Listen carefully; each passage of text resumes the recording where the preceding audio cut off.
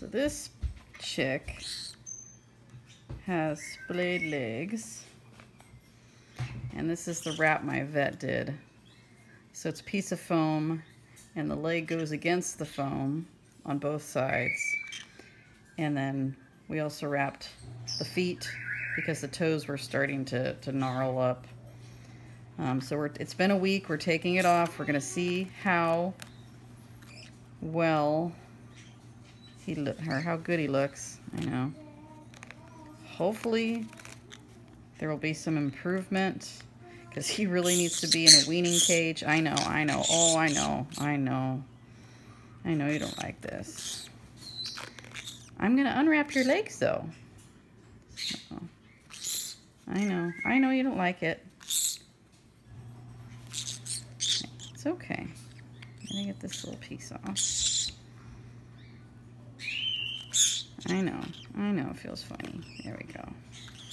Vet wrap, vet wrap is nice because it only sticks to itself. So see. So toes are unwrapped. Toes look much better.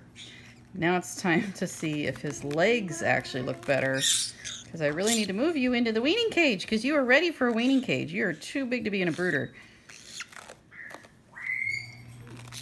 I know. Victoria, can you come unwrap? Sure. Come here. Here, just peel it. It's around and around, okay? We need the foam because we might need to wrap him again. Okay, so there's his legs. Let's see how you do. Nice.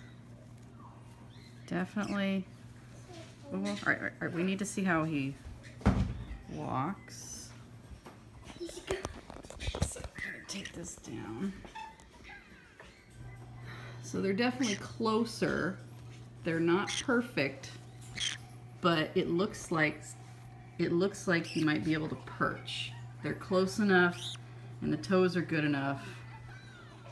I mean, he'll be he'll be a special needs bird, but it looks like um, at least he'll be able to perch, which is way better than what he had before. His spine is still crooked, but but uh, this leg is much better.